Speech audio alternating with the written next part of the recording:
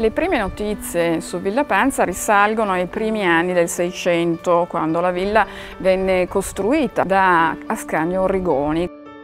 La villa passò poi invece a eh, Ernesto Panza e divenne celebre nel mondo grazie alla passione e, e, e all'amore che Giuseppe Panza di Biumo, quindi figlio di Ernesto Panza, che collezionò una delle più importanti raccolte d'arte del secondo Novecento internazionale.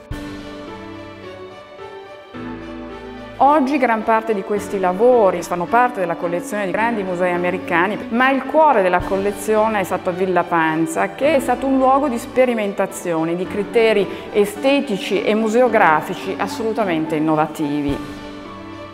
Siamo nei rustici di Villa Panza dove sono allestiti dei capolavori straordinari, le grandi installazioni d'arte minimale ambientale di Dan Flavin, queste luci fluorescenti e colorate e incredibili anche i grandi lavori di James Turrell e Robert Irwin dove c'è una fusione assoluta tra architettura, spazio e luce la natura entra dentro la villa e eh, noi che la percepiamo, che la viviamo, no? sentiamo la vibrazione dei colori, della luce e della perfezione della natura che è stata uno dei temi di ricerca spesso eh, studiata e eh, profondamente amata da Giuseppe Panza di Biumo.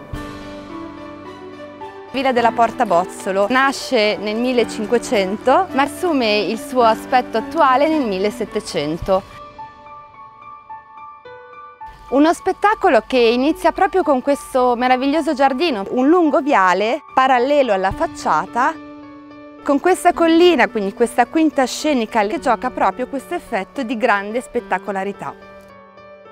Siamo ora nel piano superiore della villa dove abbiamo questa esplosione di eh, pitture parietali eh, con le quali Gianangelo III decide di creare questa, eh, questo spettacolo sia all'esterno che all'interno e quindi eh, trasforma quella che era una dimora di campagna eh, in una dimora di delizia.